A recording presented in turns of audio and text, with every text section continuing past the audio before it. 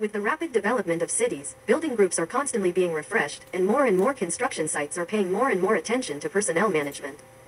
How to efficiently manage construction sites with information technology in the complex and fast-paced construction environment of construction sites is particularly important for personnel attendance and intelligent management of vehicle access. The previous construction site management model relied on security personnel to record manually, which easily caused the manager's work to be cumbersome and complicated, prone to omissions, inaccurate data registration, and difficult to query.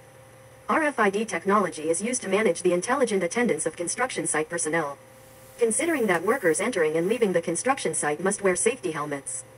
RFID electronic tags are installed on the safety helmets as data information carriers. By binding the RFID electronic tags of the worker's identity information to the safety helmet, and each construction site worker's safety helmet is unique to the identity. The worker wears a safety helmet to enter and exit the access control channel equipped with an RFID identification system. And the identity of the attendance personnel can be identified. Install an ultra-high frequency RFID reader in the access channel of the construction site. And paste a self-adhesive RFID passive electronic tag in the safety helmet of the construction worker. And automatically complete the sign in or sign out when wearing a safety helmet in and out of the channel.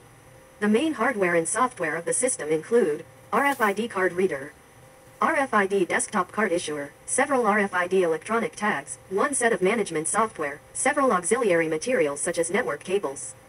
Ultra-high frequency RFID technology has the characteristics of being able to read multiple tags at one time, strong penetration, multiple read and write, large data memory capacity. Low cost of passive electronic tags, small size, easy to use, high reliability and life. RFID identification equipment is installed at the gates entering and exiting the construction site. When workers wearing safety helmets pass through, the identity of the attendance personnel can be identified by identifying the electronic tags bound to the safety helmets. The RFID access control channel can identify multiple people entering and exiting at the same time, and can quickly identify multiple tags in batches. RFID technology is suitable for the automated attendance management system for construction site personnel, realizing the automated, real-time and accurate management of personnel attendance.